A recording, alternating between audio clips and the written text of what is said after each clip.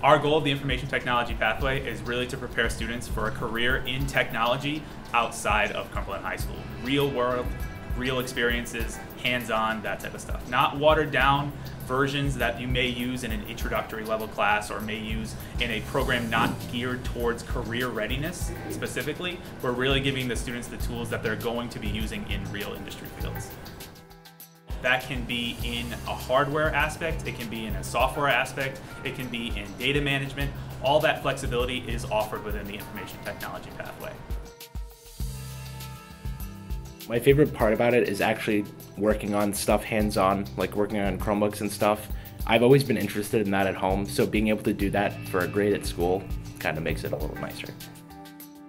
I can uh, change out trackpads or keyboards, uh, I can work on the software. I can help out teachers.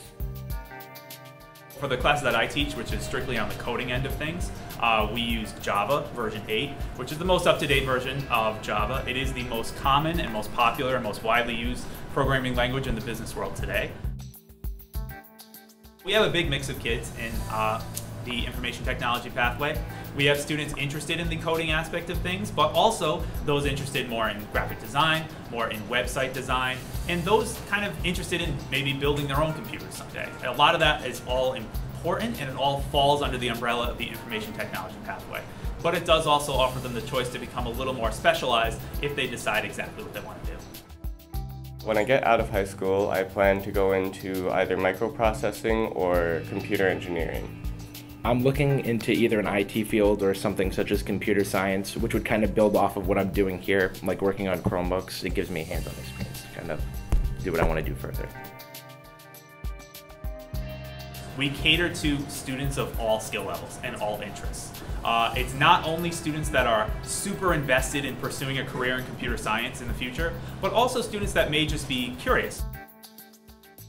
It'll benefit me in the future in getting into a technology college like ITT Tech or New England Tech, especially in uh, today's society where the world is kind of run by technology.